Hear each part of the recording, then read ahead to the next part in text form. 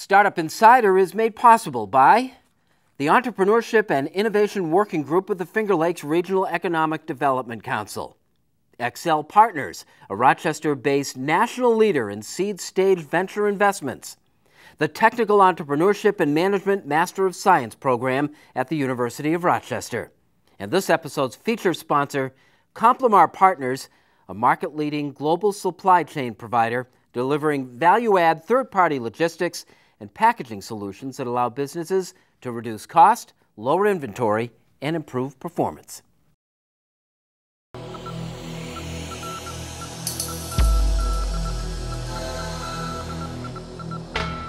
Hello and welcome to Startup Insider. I'm Alex Zapesochny. This is a program that serves to inform and empower entrepreneurs in our area to grow and to succeed here in Rochester and the Finger Lakes. And today we're going to tackle a topic that's central to the entrepreneurship journey how to raise venture capital funding. Today we have a panel that's going to answer many questions for us, many key questions, including how does a startup know that they're actually ready for venture capital funding? Once you actually get a coveted meeting with a venture capitalist, what do you say to him or her? How much money do you ask for? And are there particular challenges to being a company based here in the Finger Lakes when you're going out to seek venture capital funding? We have a great panelists today, all of which are experienced venture capitalists who make investments here in the Rochester area. Our first panelist is Theresa Mazzullo, CEO of Excell Partners. Uh, Excell Partners is a Rochester based venture capital firm uh, focusing on seed stage investments, and recently you were named among the top 30 in the country in terms of most active seed fund investors. Uh, welcome correct. to the program. Thank you. Uh, next, we have Kevin Phelps, General Partner at Trillium Group. Trillium Group uh, was, was formed right here in Rochester, mm-hmm. New York in 1997, and since that time, Trillium has, has funded many companies, many startups in our area uh, with, with any, everything from seed to early stage uh, investments. Mm-hmm. And finally, we have Brian Model. Uh, Brian Model is a managing partner at Stonehenge Growth Equity Partners, which recently raised a new $40 million fund. Congratulations, Thank Brian. You. And while Brian's office is in New York City, he focuses his investment activities on upstate and in particular on Rochester. And Brian also serves, showing his commitment to upstate, he also serves as the president of the Upstate Venture Association of New York. Welcome everyone to, to this important program. Thank you, Alex. Thank you. Thanks. And let's start off uh, perhaps giving each of you a couple of minutes to talk a little bit more about your firms, and in particular, what is the typical investment and what type of technologies are you looking to invest in? And we can start with you, Theresa. Okay. So, as you accurately stated uh, in uh, the introduction, Excell is a seed stage venture fund, and we invest in technologies that are just emerging out of the communities and the universities across the upstate region. We invest in technologies across the board. We do not have any one particular domain expertise. We actually have investments in IT software, in the life science space, medical device, even in material sciences as well as energy. The average investment for Excell is around 250,000 to $500,000 in the physical science space, and we go up to 750 in the life science. Now, our average deal is around a million because we do look to co-invest with partners like Stonehenge and angels in the community. Thank you. Kevin? Well, Trillium sort of picks up where Theresa leaves off, and that, that we actually had our roots in seed stage, stage investing and have moved down to the uh, early stage and growth investing. Uh, as Theresa points out, her investments tend to be in the less than a million dollar size. You know, when those companies start to mature and, and need either facilities or need to uh, commercialize their products, that's really where a Trillium steps in, and we're looking probably at a between one and five million dollars worth of investment in typically several stages of, investment. Okay, thank you. Brian? Stonehenge Growth Equity Partners actually overlaps both what Trillium and Excell do. Um, our fund, a growth equity fund, is focused on companies that are typically at $3 million in revenue and more. Uh, we, we, we look at that level as a way to validate that the technology works and that there are customers that are purchasing the product. We look to invest um, one to $5 million in each investment. We also have a pool of capital. We're one of the New York State's Innovate New York managers, as long uh, with Excell as mm -hmm. well, where we focus on earlier stage companies. We still look at companies that are post revenue, but we're looking to help those companies grow, help them take their products to market. Now, we've started talking and using the, the term venture capital already many times, and I think it would be great, uh, especially for individuals who have not actually sought venture capital funding, maybe to back up a little bit and talk uh, in, in basic terms about what is venture capital. And, and, and Kevin, can you uh, perhaps tell us a little Well, bit what, what is the process and what's the venture capital looking capitalist looking to get out of it? Well, I, I think you know when you look at venture capital, it's a very broad term, Alex, and, and I think you want to kind of carve it up into, into segments as we've talked about a little bit. You have the seed stage, which are typically extremely early in, investments, oftentimes coming out of universities with individual scientists or professors or entrepreneurs. Then you have the early stage, which is that next next segment where you're trying to go from a technology which is perhaps now proven to commercializing a technology, which is a challenge unto itself. Then you get into the growth stage, which is really taking it from a fledgling company into a strong position in the market. And then you get into some later stages where you start to really get banking like uh, ventures, uh, things which might be referred to as mezzanine capital and uh, buyout capital, where you actually start to take a more sophisticated view of it. What, what we are looking at actually is trying to qualify those companies as they come in the door because we, we recognize that oftentimes it's better for us to hand it off to Theresa because it's not in our space, and maybe vice versa, because we're, we are investing you know, I, with certain criteria to get certain types of returns which are appropriate for us, but may be different at the different stages of growth. And, what is really the, the business of venture capital? What does a venture capitalist look, look, look to get? How do they view the world? Well, as, as institutional investors, and what that means is that we raise capital from other investors, from banks, from pension funds, from high net worth individuals. And we manage that investment pool of capital for typically a five year investment period where we're looking for companies to invest. And then we work with those companies through, through board rights and through connections and networks to help those companies grow. And then at the end, there's a liquidity event. The company is either uh, takes on new capital, the company is sold, and that allows the investors to get their capital back.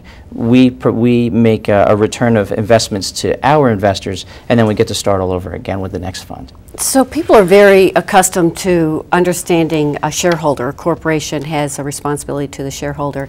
In the case of venture capitalists, we have a responsibility to our limited partners. And just as a shareholder wants to get dividends and a, and, and a return on their investment, so too do our limited partners expect to get a return on their investment.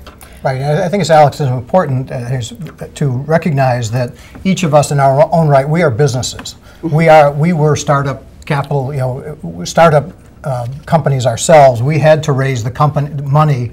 Our money happens to be, we're in the business of selling investments or selling uh, returns on investment. So we had to raise the money. Now we are expected to identify the right opportunities to provide yields on the money, and within a finite period of time, we have to return the money. So Correct. people, the entrepreneur needs to recognize that we are businesses too, and we have responsibilities, as is pointed out, for our investors. So every deal that we look at, we look at as a, a high potential deal that has the opportunity, as Brian said, for a successful exit. And they can either exit by way of a merger and acquisition or through an IPO. But until they have a successful exit of some kind, we don't have uh, an exit ourselves to get out of the deal. One of the one of the important dynamics for a venture capital firm is that it's structured as a 10-year vehicle in most cases, where you're expected to find companies and make investments during the first five years, and then harvest those investments through exits that, that we've been mm-hmm. talking about in the second part. Right. So we're as we're looking at what the return profile is and what returns we're looking to generate, you also have to think about how much time is that going to take. So part of the decision process is how fast is this company growing? Are we going to be able to help the company get to the point where there's an exit in the time frame we need? Now, typically, how many companies are, are you looking at each year, and kind of out of how large is the pool of applicants, and, and how many uh, investments do you tend to make in a, in a given year? Well, in our case, and you'll see a distinction here between uh, myself and, and Brian and Kevin, because we are seed stage, we are actually, actually, we receive about 300 deals that come our way in over the transom, as we refer to it. We can immediately uh, eliminate those down to about 84, 85 that we take a first look at, and from those, we will invite probably about 50 to 55 companies, and we are looking at an investor, or basically doing an investor pitch a week. And out of those deals, we will probably invest in somewhere around six to eight deals at the most. And that's a lot compared to what my counterparts will tell you. And I think, again, picking up on that, our, our, because of the size of our fund and our location, we are actually probably using more of a network uh, marketing strategy rather than using the internet. So we don't look to get 100 deals. We're actually looking to network. Well, we don't actually use the internet. I mean, it's Uh, because we're connected right. to the universities across upstate Okay. that they're coming in Sure. from upstate New York. I I guess my point yeah, is yeah. that, that we're looking to actually pre-qualify the deals. So Yeah. I would look for a call from Theresa that one of her companies is looking for the next stage, or I'd look for a call from Brian that one of his companies is looking for a co-investment, or I'd get a call from an attorney or an accountant. So we really use that process. So I encourage the anyone that's looking to raise money to really use your professionals and the networks that they have to try to get access to one of us. So even though all of you obviously have e- emails out there, Sure. there's phone numbers, this is really not the way to, to contact the venture No, no, capitalists. no, it it sounds isn't. like. Well, and also, you know, as as you talk about building relationships, particularly in areas like upstate New York, it's all relationship driven. I always say it's much more like farming than it is hunting. I met with a company before coming here today where I initially met the CEO in 2002 as they were launching their business, and it, it takes a while. It takes a while to build trust in the community. It takes a while to see the businesses and to, to learn more about them as they grow. So the referrals and the relationships are important but it's it's very rare that somebody will send in a business plan and will say we like this we want to make an investment. It takes it, there's a getting to know you period then there's a getting to know the people around you period. I mean that's really a big part of, of the of the funnel process that we go through before taking the three or more 300 or more plans that come in and narrowing it down to in our case uh, my partner and i will probably close somewhere between four and six investments in any calendar year. Um, it's two to three per partner because that's how long it takes to, to get the due diligence done and find the right company. Okay, and, and when we come back, we're actually going to dig into that a little bit more, and we're going to find out, as part of creating that relationship, what is it that the uh, entrepreneur actually needs to do when he meets one of you. We'll be right back after this word from this episode's feature sponsor.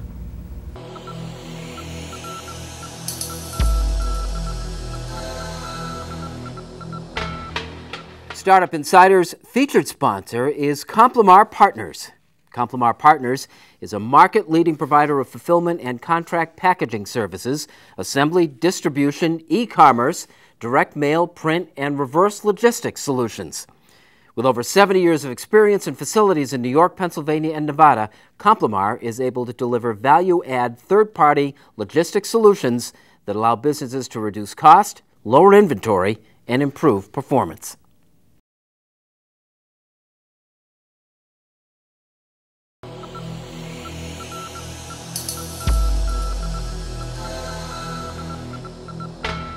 Welcome back to Startup Insider. We left off the other segment talking about the relationship that really is uh, necessary to build over time with a venture capitalist. But once an entrepreneur actually gets lucky enough to, to, to have the meeting with the venture capitalist, uh, what do they say? What do they present? Uh, Kevin? Well, I, I guess you know, my, I'll give you my style. I, I tend to meet a number of people uh, at local local breakfast establishment. That's my style. Is I find it's easier and is, is kind of more comforting to just meet over breakfast and keep it very casual. So when people first meet with me, I, I'm looking to create a personal relationship to understand who they are.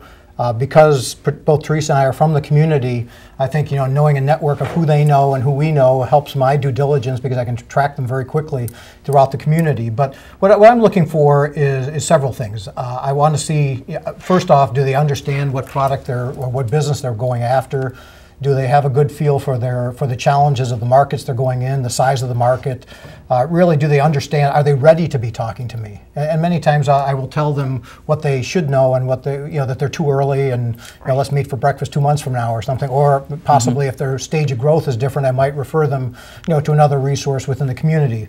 But but absent that, if, if you have a successful person, uh, you know typically there's not going to be a lot of paper. There's going to be mostly just dialogue and a uh, very qualitative uh, kind of discussion about what they're doing, and then we can, you know, over time in second meetings, we'll get into quantitative and you know uh, valuations and those kinds of things. But I really want to understand them, their passion for the business, why they're doing it, and really get to know them personally before I really worry too much about the business. And, and Theresa, I mean, how relevant, for instance, is the business plan or a fully formed deck, uh, a PowerPoint presentation by the time they, they, they get to you? What kind of information uh, does Excell look for? Well, broadly speaking, we typically look at three things the technology, the market, and the management. And so we're trying to evaluate those three things whenever any entrepreneur comes our way. In terms of the business plans, quite frankly, at the seed stage, gentlemen, please jump in on mm-hmm. this, see if you agree. At the seed stage, which is the formation stage of a high tech company startup, when they are just putting their business plan together, which is an iterative process, we require that they have a business plan because we want every entrepreneur to go through the discipline of what it takes to build the business. But the reality, Alex, is that most of the business plans we see at the seed stage are what I fondly refer to as fractured fairy tales. And so we don't put a lot of stock in the ones that we see, but we require them nonetheless. There's a whole movement uh, right now afoot basically saying the business plans are not, not the way to go. I, I, Uh, I say very often that the business plan is very valuable to understand how the entrepreneur is thinking about their business or, or that they are thinking about a lot of the various components. But it's not quite as relevant to making the investment decision. It's more valuable to us. I always say, you know, like they say in real estate, I look at management, management, and management because we back um, domain experienced entrepreneurs who are passionate about applying technology to solve a business problem. So what we do, and I do a lot of initial meetings over Skype where I can spend 30 minutes looking somebody in the eye, or we do it over a cup of coffee. I'm in Rochester a dozen times a year. So finding a way to have that conversation, understand what drives you, what's your passion. Our prototypical entrepreneur spent 10 years working in an industry, understands the problems that face this industry, left their employer to start a company to solve that problem. Um, and that's really what drives us. That's really where we start. I, thi- I think the other thing, Alex, uh, understand is, for me at least, is that I, I can hire somebody to write a business plan. I mean, I, you know, I- uh, I've seen some of your work. You, you do a great job of that, so I, I can hire you to do that.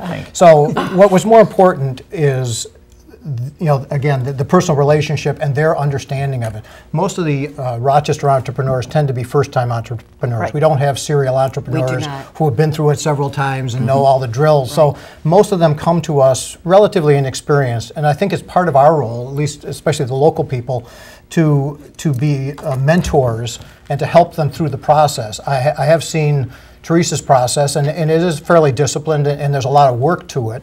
And, and I think probably, you know, for, for a entrepreneur to get through your process, they do have to put a lot of discipline into it. And I, I think that's good, but I think it's you're I think you're asking them to do that to see that they can do it, Absolutely. not because that's how you're going to evaluate them. So I think it's very important to recognize that in Rochester, New York, you know, we are here to be your mentor and your partner. So if you've got a very good idea, you know, we want to work with you. We don't need you to come in as an expert because you know we can go across the country and find you know make investments in expert companies. We're trying to grow Rochester companies, which we recognize to be early stage and less experienced, and that's how we're going to develop the network of great companies is helping them. so, so, But when if you I- if oh sure. I was just saying, if I can interject, when, when we talk about experienced entrepreneurs, recognizing a lot of the entrepreneurs are first time entrepreneurs, mm-hmm. they all come with a, a depth of experience in their industry. Right.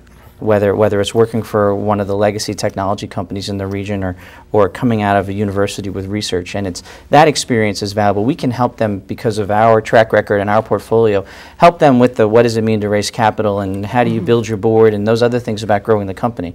But the industry experience and the passion for the solution, um, that's something that I think that there's a lot of in the region. Yeah. N- Now, typically, when you're dealing with entrepreneurs, actually, a lot of you have used kind of the singular form. Uh, do you have a preference around teams uh, as opposed to one entrepreneur? And if so, kind of what does a good team look like? Well, because we are working with a lot of uh, uh, technologies emerging out of the universities, we see scientists who have discovered an enzyme or have a medical device or what have you. And we have a general policy that we will not allow them in to do an investor pitch unless they have corresponding management with them. Because, quite frankly, when you get a scientist in the room, it becomes very difficult for them to talk about uh, their business as a business. You know, they want to talk about the technology and not about the business and the strategic growth of the company. And in fact, it's a real failing that we see oftentimes in investor pitches when they allow the scientists to take over the investor pitch and they spend two thirds of the time talking about the science of the technology without we'll be 20 minutes into it before we ever even really understand what the product is. In fact, I, I, I have a, a, story from one of our board members. We brought one of our, our companies in, and the CEO became ill at the last minute and was unable to make it to the board to talk about the growth of the company. So he sent the scientist in. And I had a conversation with the scientist ahead of time and said, please do not make this overly scientific. Just give us how the company is doing and so on. He comes in in true to form he begins talking about the technology and ends up talking about the technology. And when he walked out of the room, one of my board members said to me, Theresa, I feel like I've just watched a foreign film without the subtitles. that is not what you want to have happen, and that's why we always require a management person to come I think alongside a the little, little, a slight exception to that. I, I think, you know, we, we are, again, in our role as mentor, I am not looking to invest in the best accountant. I'm not looking to invest in the best Aren't you an accountant, by commercialization. I am by- I am and maybe that's why I can do. I can do that myself.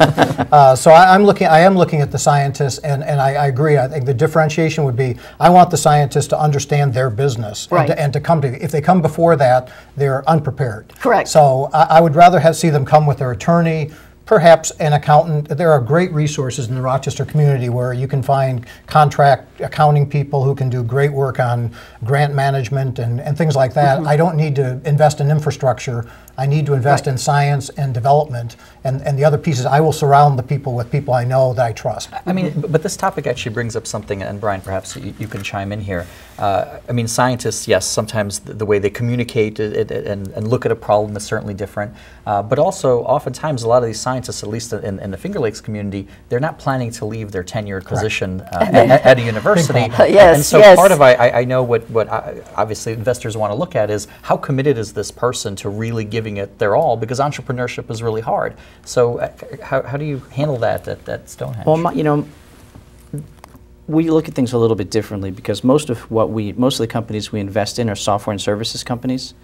So a guy in a lab coat who invented something is not often our prototypical entrepreneur during that initial meeting. We're most interested in who are the salespeople, who's driving the growth of the business. In companies where there's a scientific founder, I think it's very important to, to structure it the right way to either make sure that the company controls the technology, um, and to have that heart-to-heart conversation. You know, we're, we're looking to invest and eventually sell this company. You know, what's, what's going to happen to them? But we're looking more at the business management than the science management and the typical profile of the company we mm-hmm. invest in.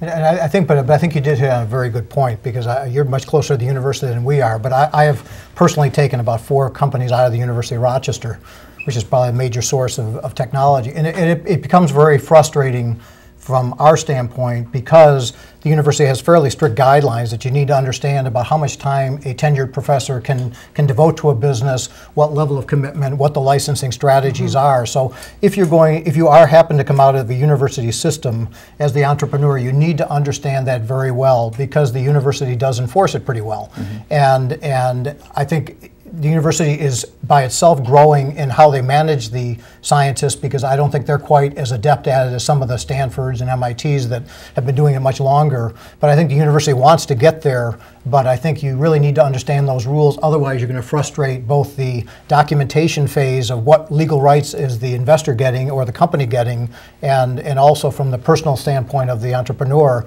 They just need to know what their employment contract says. A- a- And just maybe kind of quickly going around, so, so would each of your companies actually fund uh, a startup that has just one founder? A scientific person, or, Well, or, or is, are you that's part of the- qualifying that? No. It depends. I, th- I would have to say it depends. If it's in the software space, or, or we would absolutely take a look at it. I wouldn't make a But when you, blanket when you define founder as a lead person, yes, typically they will come with their uh, graduate student or their Right. PhD or whatever they will bring with them, but typically there's one visionary that's driving the company rather Correct. than a group. Yeah. I would agree. There, there's typically there's typically one person who's who's driving the development, um, but they will usually come with several co-founders. Mm-hmm. Um, we would not have a problem backing that one person for the right opportunity, For the right for the right we, person. we are very, uh, we go to the, even to the point of educating the, particularly the, the research scientists who do, who, who have to make that decision about leaving the university and making this a full-time occupation or staying within the university. We've, we've done both. and there's good examples of both within the community. But educating them on what their commitment means, not just them, but their family, because a lot of times, you know, people are asked to put personal guarantees on, on uh, certainly the assets of their company. They're putting their families mm-hmm. at risk. They, they should understand the time commitments to try to, to balance both and what pressure that's going to put on the family. So we actually take a holistic view, and I've actually had spouses come into meetings so that we could just sit down and fully explain what the experience is going to be and make sure that the family is ready for it. The extension to that is is that not even with the scientist, it's if you're an entrepreneur, is raising this type of capital appropriate? So mm -hmm. we sit down and have a lot of heart to heart conversations about um, what does it mean to have somebody on your board? You're the founder, but now you've got a partner. Um, and whether you're a scientist dealing with the tenure issue or, or a software entrepreneur dealing with the financing issues, um, understanding that dynamic and, and how long a partnership that's going to be and what the demands and the requirements are going to be is a very important, very early stage conversation to have to, to make sure that you're all aligned from the beginning. It's a, it's a different environment, remember, also for the science, particularly the, the medical and the life sciences side, that these are people who are extremely good grant writers. and they, they, so they know how to do the business plan. They can yeah. write those kinds of documents and they have people mm -hmm. around them that do that. The challenge is, is when you write an NIH grant, it's for science. And what we're talking about is not taking it to commercialization mm -hmm. and mm-hmm. having to raise it from people who expect a return on their investment. The, the uh, you know, NIH is looking for great science and that to be shared and commercialized. The investor is looking for the commercialization and the translation of technology into cash flow. Very different you know, set of dynamics that goes on there, and that's what the entrepreneur really needs to learn. Excellent. Well, thank you very much. When we come back, we're actually going to pick up on that point and talk a little bit more uh, about uh, how does an entrepreneur actually know how much money to, mm -hmm. to try to raise when, when he's speaking to, to one of you. We'll be right back after these words from some of our sponsors.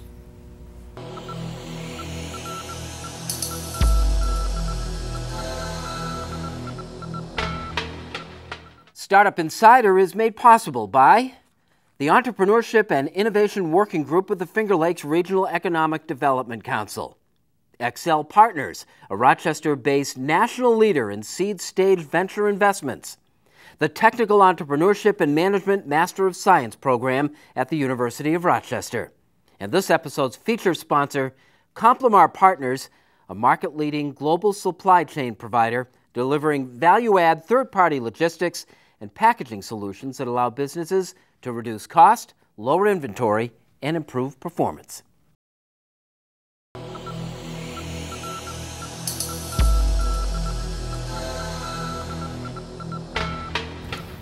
Welcome back to Startup Insider. Before we took the uh, went to the break, we started talking about how much uh, it, it, potentially costs to commercialize uh, a, technology.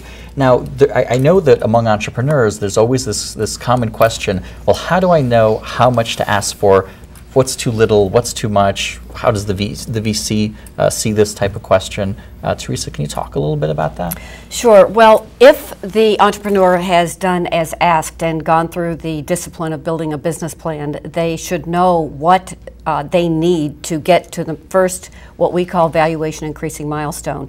And that might be something as simple as building a prototype that they can take out to the market and test, a commercial grade prototype. In which case, depending on the kind of technology, could be something as little as eighty to $100,000. On the other hand, another technology, depending on what they need to get to that next milestone, might be somewhere in the 500,000 or more range. When they come to Excell, we typically tell people to tell us what you think you need and not what you think you can get. Because we are a seed stage funder and people do their homework and understand that our average investment is around 250, they will come in with a plan based on what we see they need and they will still ask us for a very small amount and we'll say, "Can you really accomplish that for $250,000?" And the answer is really no, but mm -hmm. that's what they think they can get. Mm -hmm that's a wrong approach to take. I fully, fully agree with that. I, I, think there's, a couple points I think it can be made. Uh, certainly, that's one of them. I, I, would say, from our experience, Rochester has a propensity to think that nothing goes wrong, and we know, and, and we expect things to go wrong. So, yeah. to Theresa's point, one of the points I'd share with any entrepreneur is, if you almost get there and you need money to get there, that second stage of money is going to be about four or five times as expensive as whether you'd taken the money up front. Because I will take advantage of situations where, you know, the company needs it, there's not a lot of options, and if I'm the one with the checkbook, I'm by nature going to take advantage of that because that's my business to, to, to maximize that.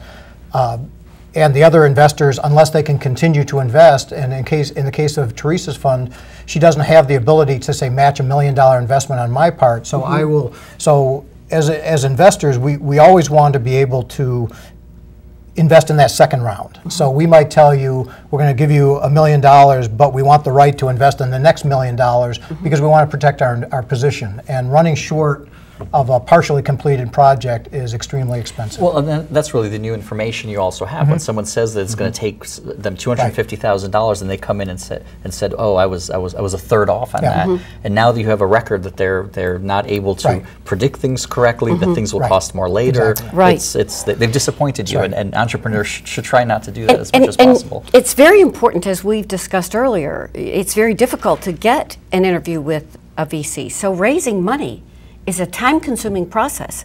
So once you're out there, you should get what you need for 12 to 18 months time period.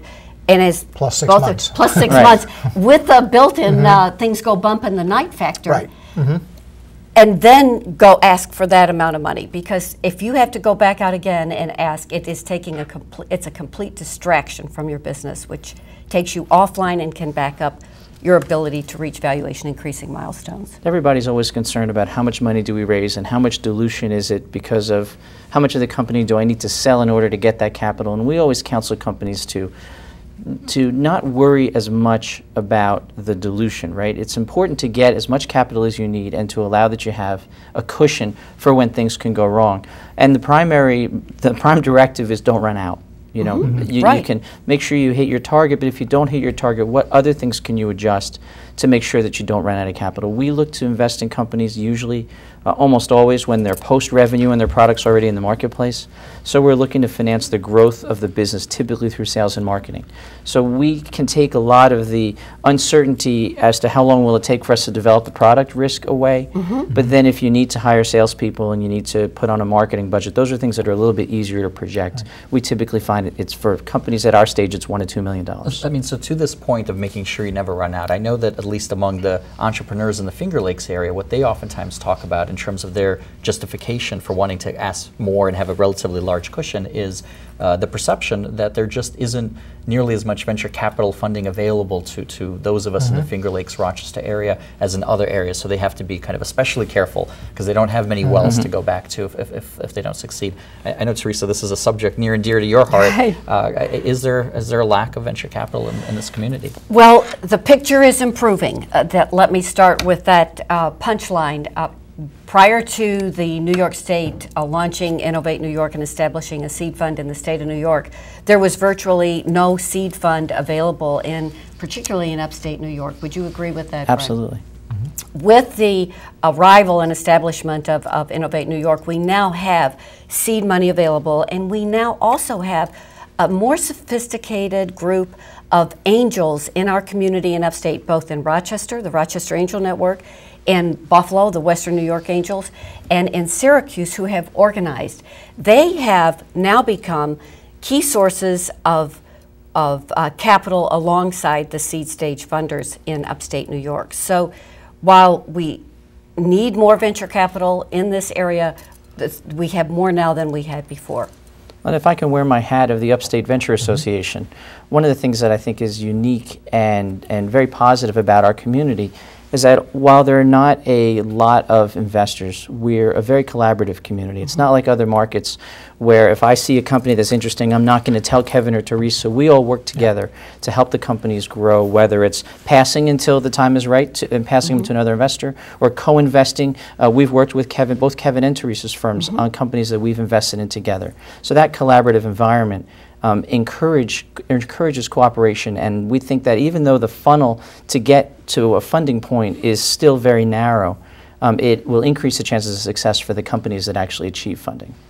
Okay. I, I want to change topics a little bit. Uh, uh, but, but kind of staying with it a little bit, are there common mistakes that you see entrepreneurs, uh, especially those in the Finger Lakes uh, region, making when they approach all of you as part of this long strategy of, of, of getting money?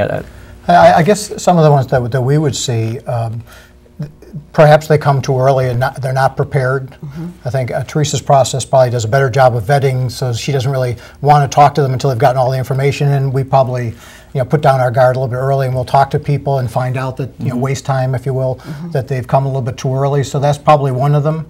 Um, probably another one is they jump too quickly. They're too worried about because they're initial entrepreneurs, they're too worried about how much they own or what their control is going to be and all these things. And, and as far as I'm concerned, uh, control is, is a foolish topic to bring up until well into the negotiations and bring right. your lawyer into it because they don't even know the controls that any one of us has contractually.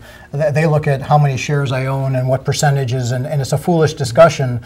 So they really need to focus on, you know, what am I trying to accomplish? If the opportunity is successful enough, there's more than enough money. All of us are more than generous to properly reward our entrepreneurs if they're successful. Mm-hmm. But don't come to me early and tell me I need 50% or I need this percent or whatever. It's a stupid discussion early common mistakes? Well, I would say probably crazy valuations. Uh, mm-hmm. receiving uh, valuation, someone comes to us and they have an, an, idea. They do not have revenues. They have just formed their company. They do not even have a working grade prototype. That is usually something we're helping to fund. And when we ask them what their valuation is, their valuation will be like six to ten million obviously that's a non-starter and we have to mm-hmm. kind of work backwards and if they're if we can help them see the light and see the rationale for where they should be uh, then, then would you, would you give people a, a, chance to actually I mean once they come to you with a $10 million valuation for a seed round do you actually even try to show them the light or is that oh absolutely yeah. because as, Kevin has pointed out our our marketplace is getting more sophisticated the investor pitches that we see today mm-hmm are more sophisticated than they were five or six years ago. Mm-hmm. But they're still, to some extent, uninitiated in the process and their idea, and they have a belief in their business, and they know that if this succeeds, then it will be worth X. Well, it hasn't succeeded yet. You are totally unproven. And once we sit down with people and explain how evaluation is really approached, mm-hmm. most people do appreciate that thinking and can work back on that. It's a very different process too. I think a lot of people have been they surround themselves with the wrong professionals, and they have the belief that they set the pricing. Yeah. So they, they go out and they think that they're going to go to their local country club or amongst their friends and family and say, yeah, Alex will send you sell you a twenty five thousand dollars share of my company. and You're going to get two percent. And a lot of times the naive investor doesn't do it.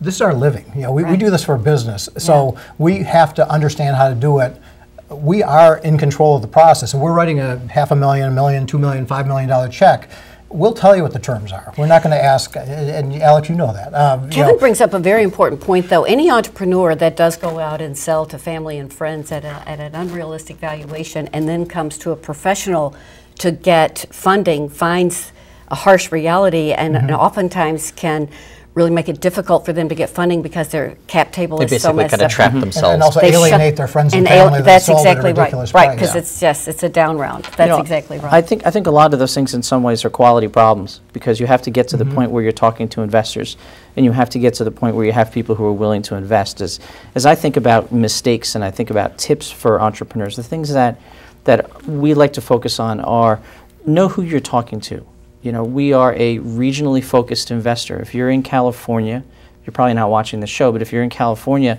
we're unlikely to be investing in your company. Um, are you, if you're a dry cleaner, if, if, you're, if you're not a high growth company that's going to sell, if you're looking to build a business that you're going to pass on to your grandchildren, understand whether or not venture capital is right for you, and then find mm-hmm. investors who are likely to be good targets. We don't invest, we're, we're, we're most likely not going to invest in a company where it's a scientist who's trying to cure cancer. So it might not be worth that entrepreneur's time to reach out to us, although we'll try and help them if we can. Know what you're getting yourself into, understand who your partners are, what they're going to be looking for, and make sure that this kind of capital is right for you. Well, and this actually goes into my next segment, which is kind of the flip side of it. You talked about common mistakes. Uh, are there some things you can point to in terms of real tips for entrepreneurs? Perhaps times where you have uh, talked to companies and said, "Wow, that was that was particularly effective. They really they really understood uh, how to do this." Are, are, there those those sorts of tips? I think uh, 40% of the, uh, the entrepreneurs fail at the investor pitch stage because they do not understand how to craft and put together a story.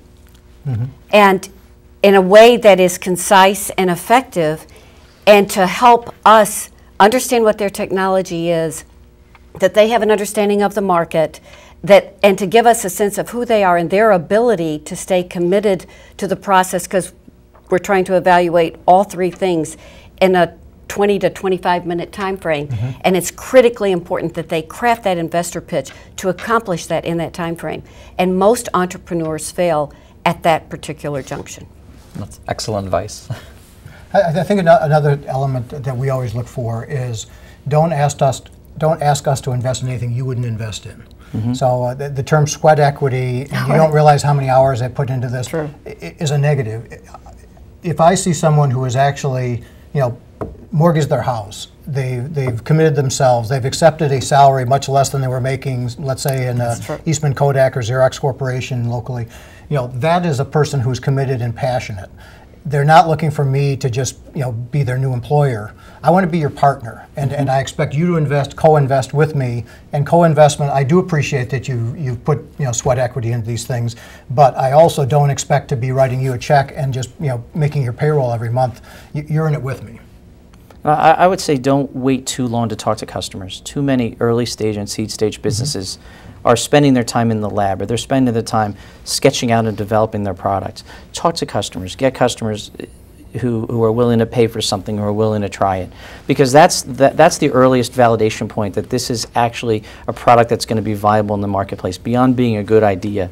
Um, and I think that's something that, that a, lot of, a lot of entrepreneurs in the development stage they're too busy developing, and let's mm-hmm. let's make sure we're developing the right thing and delivering it on time. Thank you very much. Uh, this was a terrific discussion. I know from the standpoint of an entrepreneur, the things you're talking about are extremely valuable. I, I know I wish I'd known them uh, years ago, and, and, and I'm sure the people who are watching will, will learn a lot, and hopefully they won't uh, be coming to you with a $10 million valuation or just emailing you without, without knowing who you are. Uh, and, and thank you very much for watching. Uh, this has been really important because venture capital really is the lifeblood of a healthy, uh, startup ecosystem. And as we all know, a healthy startup ecosystem is the key to economic development and growth and good jobs in our area. Thank you very much for, for watching, and we'll see you on a future episode of Startup Insider.